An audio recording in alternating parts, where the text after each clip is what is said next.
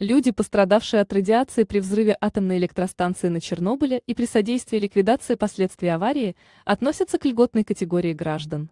В связи с этим им полагаются различные пособия и льготы.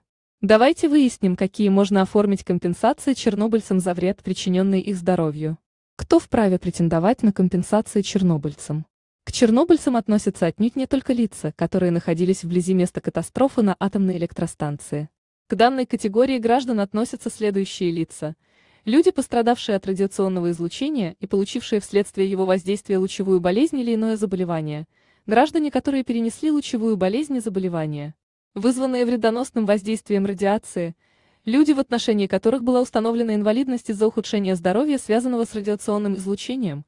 Ликвидаторы последствий аварии на ЧС, ставшие инвалидами из-за радиации – лица на постоянной основе, проживающие на загрязненных из-за аварии на ЧС территориях, военнослужащие, включая служащих советской армии, помогавшие в устранении последствий Чернобыльской катастрофы, служащие органов внутренних дел и пожарной службы, которые трудились в зоне отчуждения, граждане, которые были эвакуированы с села загрязненной территории, медицинские работники, трудившиеся на зараженных территориях, доноры костного мозга, спасшие жизни людей, пострадавших от радиации при аварии на ЧАЭС.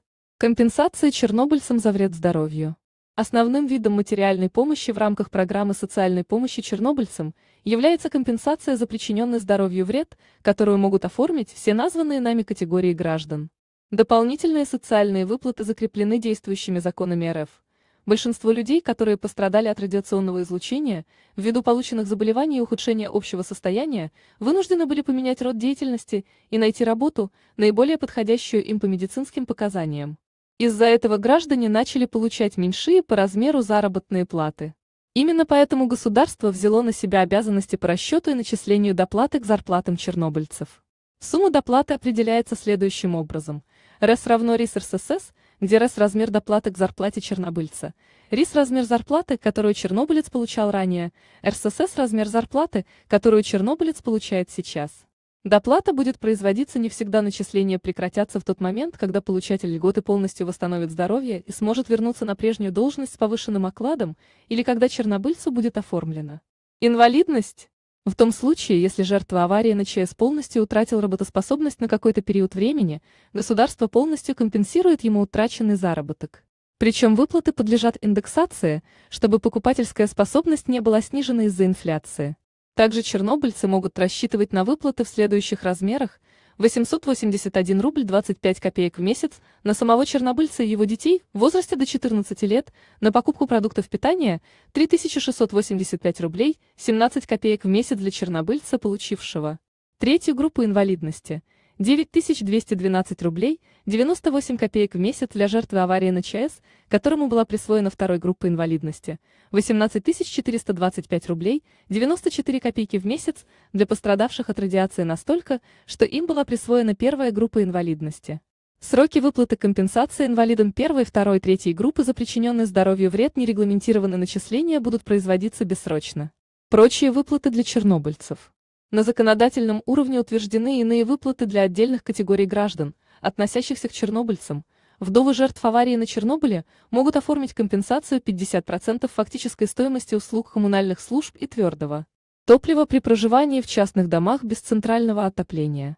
Иждивенцы умершего ввиду Чернобыльской аварии человека, нетрудоспособные дети, внуки и другие родственники вправе рассчитывать на ежемесячные выплаты и единовременную компенсацию. Ежемесячное пособие будет рассчитано, исходя из числа иждивенцев умершего гражданина и присвоенной ему перед смертью группы инвалидности.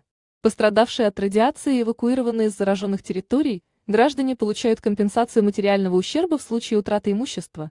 Недвижимость должна была находиться в собственности на 1 января 1994 года, квартира дома. Дачи ХОС построек, домашней утвари, предметов длительного пользования, сельскохозяйственных насаждений, посевов и животных. За потерю личного имущества предусмотрена единовременная компенсация в размере 14 680 рублей 74 копеек на каждого члена семьи.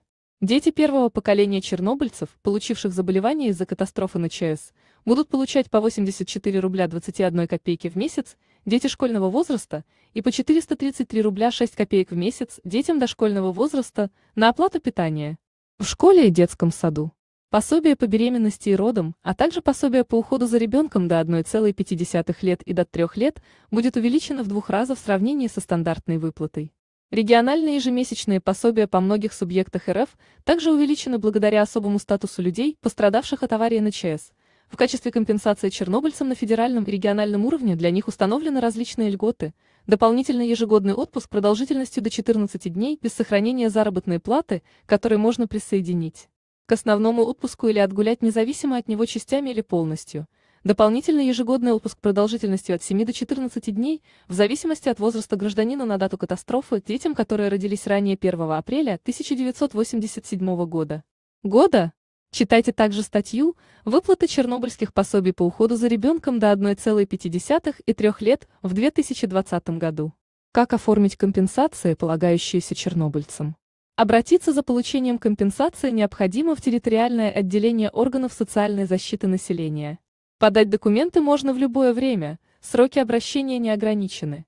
Если человек недавно зарегистрировался по месту жительства, следует предоставить подтверждающий факт регистрации документ. Если компенсации ранее были назначены, нужно сообщить об этом. Читайте также статью «Пособие на ребенка в Брянской области». Какие документы нужны для получения компенсации чернобыльцам? Чтобы начать получать положенные компенсации и выплаты, чернобыльцы должны подготовить следующий комплект документов. Документ, где получить заявление о назначении компенсации жертвам Чернобыльской аварии, бланк и образец будет выдан. По месту подачи документов паспорт РФ ГУВ МВД, справка о составе семьи, паспортный стол, удостоверение чернобыльца УС, трудовая книжка с последнего места работы, заключение медико-социальной экспертизы для инвалидов, бюро М-свидетельства. О рождении детей органы ЗАГС документы о праве собственности на утраченное из-за переезда имущество, в зависимости от способа приобретения имущества законодательные акты по теме. Федеральный закон от 15 мая 1991 года, номер 1244-1, о социальной защите граждан, подвергшихся воздействию радиации вследствие катастрофы на ЧС типичные ошибки. Ошибка – Человек, пострадавший от аварии на ЧС, требует компенсации утраченного имущества в виде квартиры, которая была оформлена в собственность позднее 1 апреля 1994 года. Комментарий. Компенсируется только утрата недвижимости, зарегистрированной в собственность чернобыльца до 1 апреля 1994 года. Ошибка. Женщина, являющаяся супругой чернобыльца, получает стандартные выплаты по беременности и родам. Комментарий. Родственникам чернобыльцев и членам их семей полагается выплата по БР в двойном размере. Ответы на распространенные вопросы про компенсации чернобыльцам. Вопрос номер один. Можно ли обратиться за выплатой компенсации за причиненный здоровью вред из-за аварии на ЧС спустя несколько лет после переезда с зараженной зоны? Ответ – да, сроки обращения за компенсационными выплатами не регламентированы. Видеосоветы. Что такое чернобыльский сертификат или льготы, которыми мы не пользуемся? В видео раскрывается информация о том, что такое чернобыльский сертификат или льготы, которыми мы не пользуемся. Спонсор этого видео – Центр юридической помощи «Бастион», бесплатные юридические консультации круглосуточно. Телефон центра 8 800 555 67 55, добавочный номер 769. Адрес сайта указан в описании под видео.